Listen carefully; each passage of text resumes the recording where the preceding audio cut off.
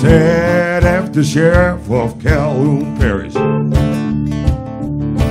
never touched his daughter Lee. When I look at her with the lustful eyes was certain to get you time in penitentiary.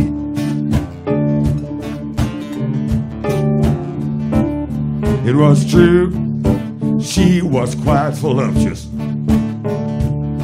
It was true, she got eyes for me. Then one night at the dance, she walked up to me and asked me would I meet down by the creek.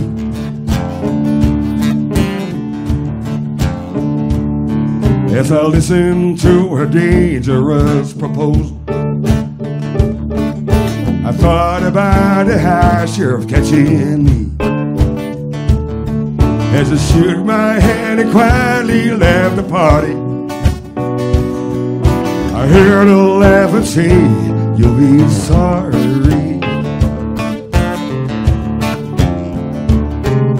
There came up on my door a loud disturbance.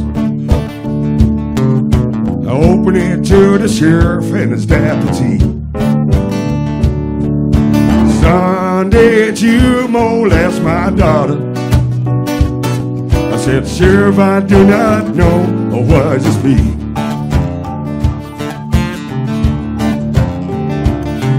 Yeah, he wrapped me roughly by the collar. He flung me sprawling out into the street.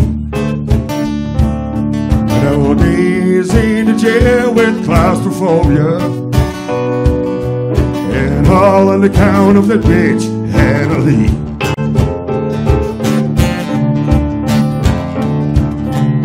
I finally worked the bars in front of the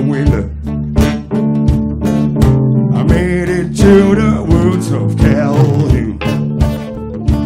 Late at night, I came up on a cabbie. Was the home of Howard Crows, a friend I knew.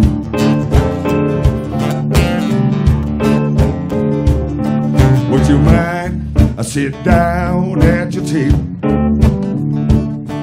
It's been a while since I had time to eat.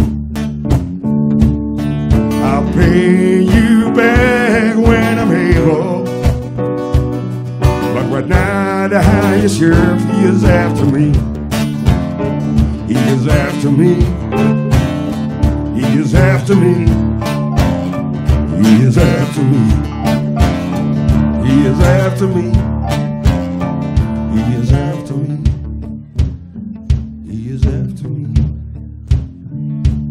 After me.